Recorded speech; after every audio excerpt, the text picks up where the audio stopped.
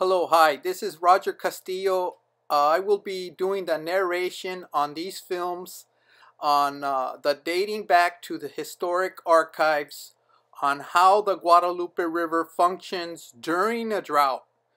Uh, the drought of 1992 uh, and finding how Chinook salmon utilize storm drains and outfall systems when the river remained dry and we had not recovered out of this drought.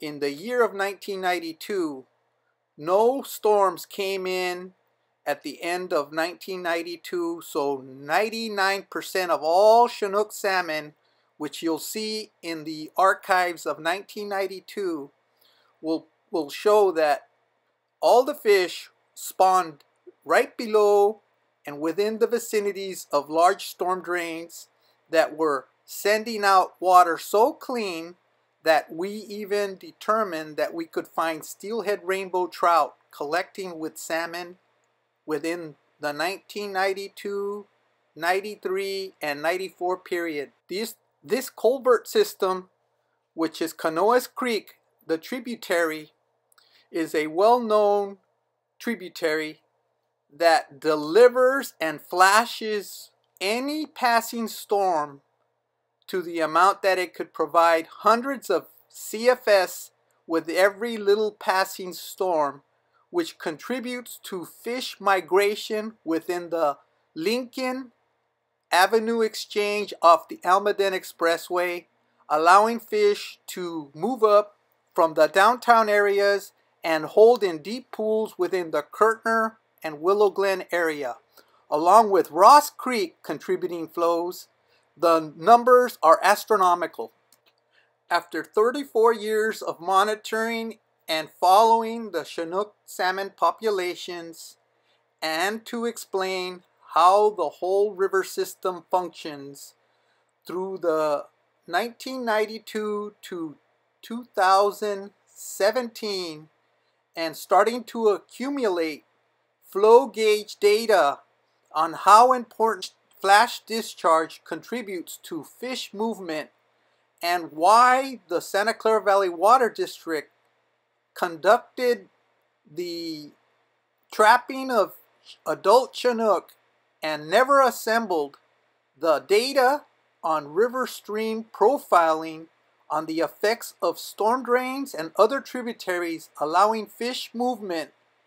And while they conducted redds and nesting identification. This next film segment was taken in October of 1993. Investigating unit from Channel 11 News in San Jose, Rob Flottable, to prove that there's existing free flows coming from storm drains. I heard them, that's all. No. You know, here we go. I'm going to slide them on. Yeah, put them up on the grass for a second. There he is. It's the salmon. And they wouldn't believe you, huh? And they wouldn't believe me. In frustration and not getting any help from the Department of Fish and Wildlife, I had an investigating unit, Channel 11 News, come and film me. Capturing and containing the salmon to prove that they existed to get the additional permits to start the tissue gathering on Chinook salmon. As you observe, I am releasing this Chinook. Please observe the flows coming out of this storm drain, which never diminished throughout this entire drought. Observing where I just released this salmon, these flows have been, have been sent to the river system nearly a hundred years. In November 1993, after receiving the Department of Fish and Game's permits to apprehend and collect tissue from Chinook salmon, we identified that a large congregation of fish always accumulated below these large storm drain outfalls that have been sending water for a hundred years. Looking at the backdrop where I just laid this fish, all of this water is coming from an outfall. At the same time, in conducting this fishing expedition to apprehend Chinook, incidentally actually angled a 14 to 12 inch steelhead rainbow trout that you just seen in the footage. Again, looking at the backdrop where I'm holding these fish is not the main river system, but actually the outfall flows coming from this storm drain. Estimates of at least 50 Chinook staged downstream of this outfall all the way to Trimble Road as the October timeframe we observed salmon staging in numerous pools and ponds. At the time of trying to apprehend fish and having numerous fish on the line, we were only able to land three fish. This hen Chinook was around 30 inches long and was the last fish landed this day. Now after a small storm in November moved fish up to mid middle areas of the Guadalupe River. On the Guadalupe between uh, Lincoln and the old Almaden Road here and we're going to be looking for uh, Chinook salmon this morning. What'd you say you forgot, Roger? My, my. Oh, you I thought you said you had to have a fishing license. Oh, Oh, we have a Fish and Game here this morning with us, a biologist, and he's gonna, we're gonna try to catch a fish we've seen down here and kind of document what it is.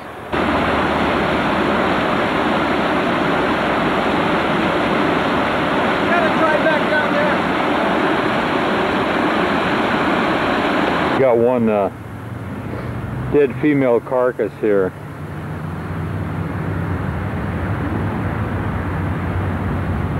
Which is uh, getting a measurement on it.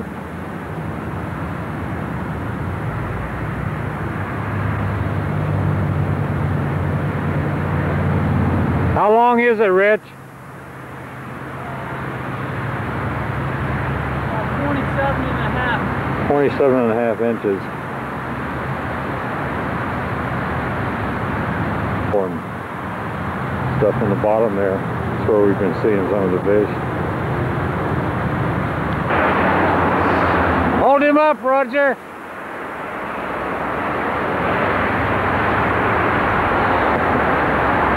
That's a salmon.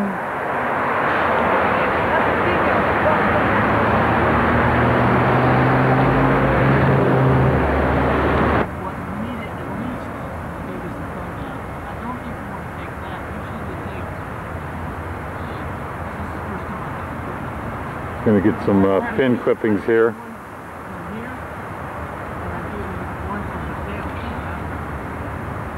It's a female, uh, about 30 inches long. To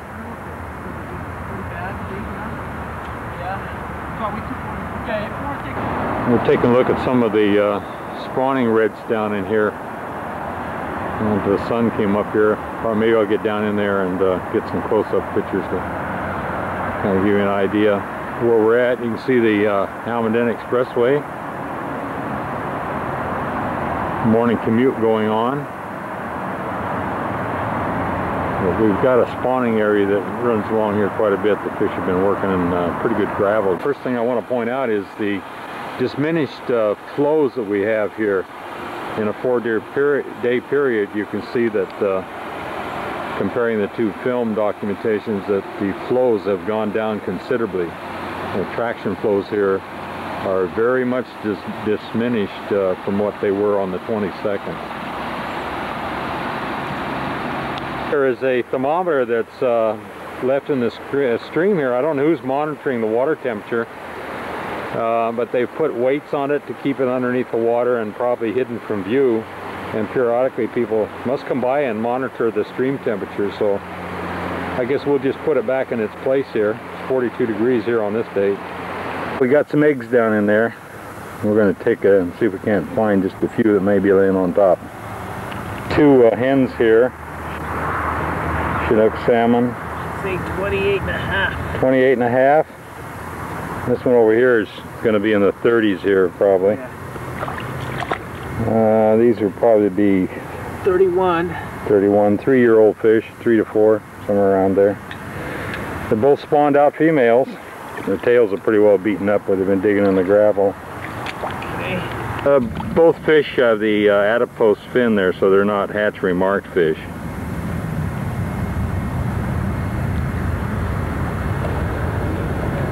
And we're pretty late into the season now, so these fish have been dead for a little while, but they spawned in the uh, Guadalupe here. This is uh, right at, uh, we're in between uh, Foxworthy and, uh, what's the next road down here?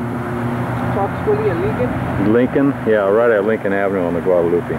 Carcass here, this uh, fish here is pretty badly decomposed. It's been, I would say, dead for a month, at least a month now.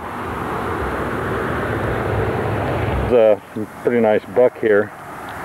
Uh, put the tape on him, Roger. Let's see uh, how long he really it's really not is. that old. It's just that. I wonder if he's still alright. It might be. We can take a sample. Put the tape on him there.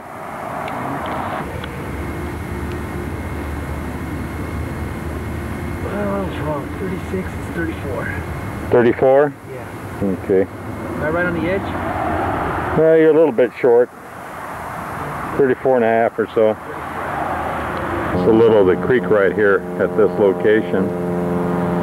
And we're right at the Guadalupe Creek and this is the Almaden overpass and you can see the uh, over ramp. They're going on Lincoln Avenue right over there. That's the exact location.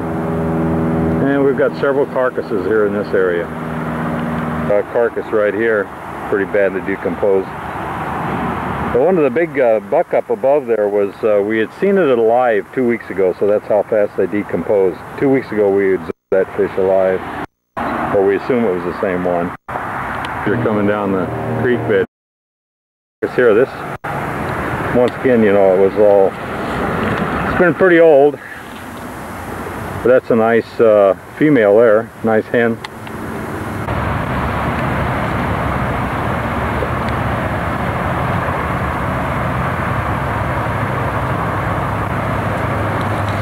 You want to hold it up? I'll take a picture. Taking the left fin off.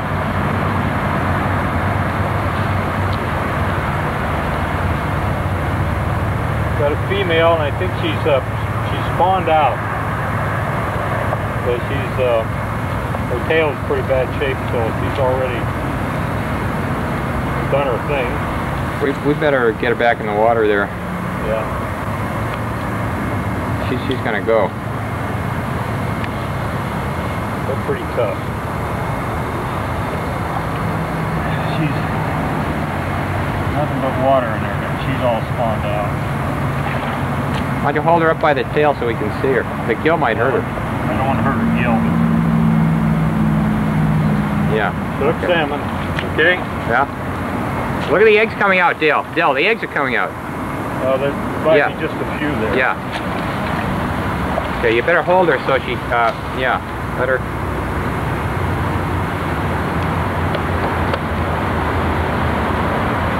She's pretty much spawned out though. Yeah, no, you hold her head right in the current. She'll come back.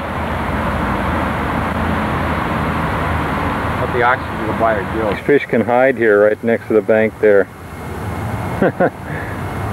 you could walk by if you weren't really looking for them, you'd never know they were here.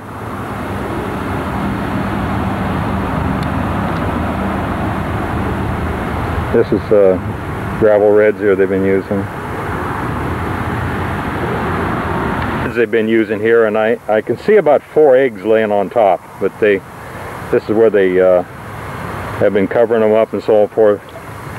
Let me get down here and uh, point out. I can see one of them right, right there where the stick is, is a is a salmon egg, and there's a couple more here. Let's see if I can find them again. They're laying on top. Normally they they don't all get buried, of course. I don't want to disturb the nest here. Oh, here's a big one right here that's laying on Right top. Right there, Dale. Okay. Right there. Right here, too. Right there at the end of the stick now. Oh, there's, yeah, yeah, there's a nice egg there, salmon egg. That one's kind of white, though. It's probably dead. The white one